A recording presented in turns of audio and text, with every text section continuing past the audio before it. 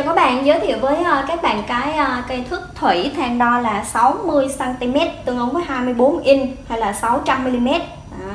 của hãng Stabila sản xuất 100 trăm tại đất. Thước này ờ, được bảo hành 10 năm. Rồi model của cây thước này là 19170. Đế của nó không có 500. À, cái này nó có 3 bọc thủy, hai bọc đứng, một nè, hai nè và một bọc ngang. À, trên thân của cây thước thủy có ghi tên hãng Stabila nè. Made in Germany sản xuất 100% tại Đức và địa chỉ website qua web.stabila.com hay là .de gì cũng được.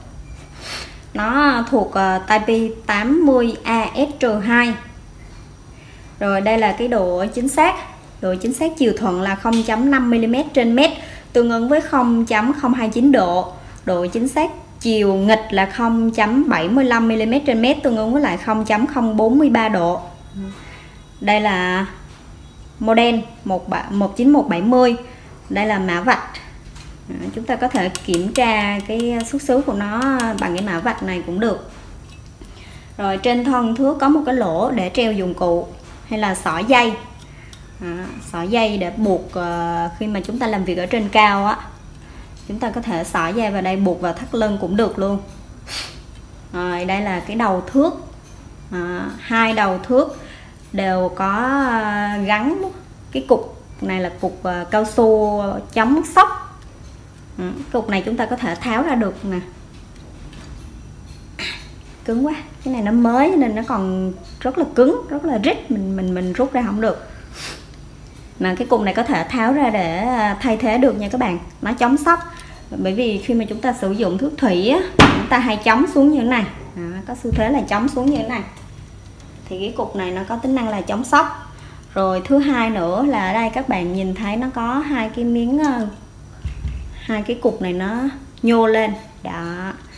À, mục đích của nó là gì? Khi chúng ta áp vào tường hay là một cái mặt bằng nào đó để chúng ta đo thì cái miếng cao su này nó hít rất là chặt vào cái mặt bằng à, cái mặt phẳng đó. À, mình mình đẩy tới đẩy lui nó không bị tuột nè à, không bị trượt đi nè.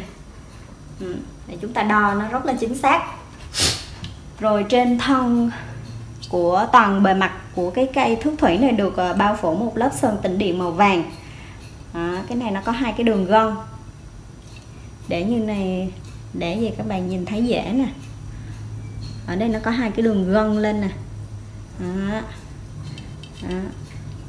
mặt này cũng vậy luôn.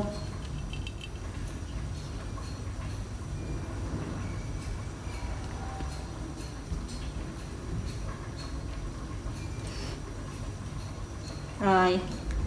Thứ thị của hãng Stabila thì có rất là nhiều mẫu mã, chủng loại, đa dạng, khác nhau. Thì à, các bạn có nhu cầu à, thang đo bao nhiêu là kiểu dáng như thế nào, có 500 hay là không? Thì các bạn có thể ờ, gọi điện thoại trực tiếp cho Thanh với số điện thoại trên màn hình hoặc là truy cập vào website www.lucas.vn để tham khảo thêm nhiều cái loại thuốc thủy khác.